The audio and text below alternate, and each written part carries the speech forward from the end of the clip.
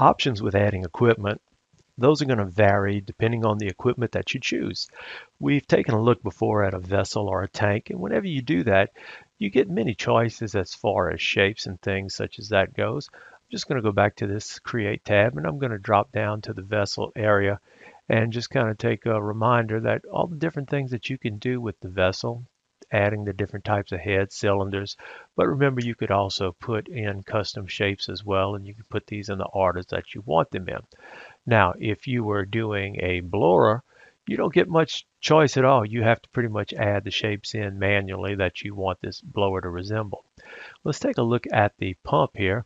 I'm going to go ahead to a hose pump and you'll see that you have uh, a pump that's been built for you. You have your discharge and your suction nozzles there as well as your motor.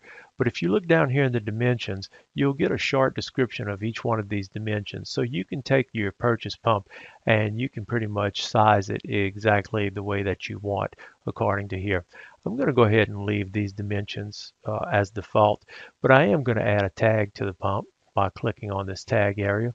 And I'm going to take the next available number to put this pump in and then I'll go ahead and I will do create pump. Now we can put in our pump uh, at an exact point or we could use our snaps and we could snap in. I'm just going to go ahead and place that one in there. Now I'm going to go back to a parallel view. And if you click on that, you can edit those nozzles right there. It's telling you what uh, they are. Maybe you needed to, if you edit those nozzles, you might need to put a, um, a different pressure class on there. Maybe you want to change that pressure class to 150 instead of 300. Doesn't matter. You can edit the nozzles here according to what your needs are here. So also whenever you place equipment in there, we're going to just drop another one of the same ones in here again. You can also use your compass to place it. If you notice, you can place it in rotation wise. So you can use the compass to help place the direction that you want for your pump.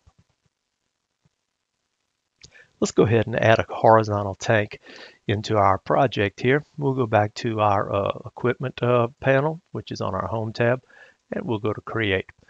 And what we're going to do is we're going to take this horizontal tank here and we're going to uh, check, with this one has a cone on it.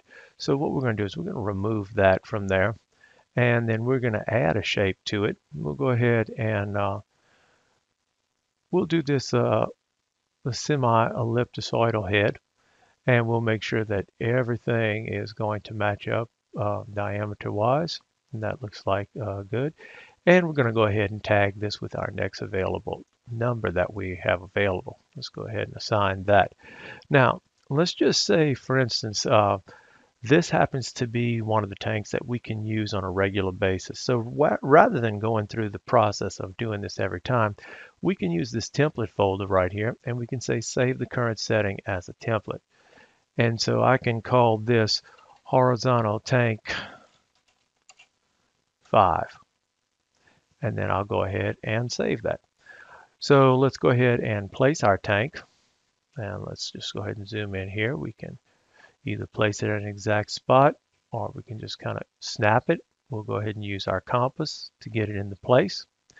And let's say that we needed one more just like it. Now, keep in mind that we saved this as a template, so we can go to the template.